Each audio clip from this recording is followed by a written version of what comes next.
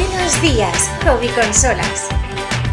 Hoy es miércoles 10 de septiembre y tal día como hoy, en 1993, la cadena Fox estrenó la mítica serie Expediente X, que duró nueve temporadas. I Want to Believe. Por cierto, hoy cumpliría años Gunpei Yokoi, el genial creador de Game Boy. La industria lo echa de menos.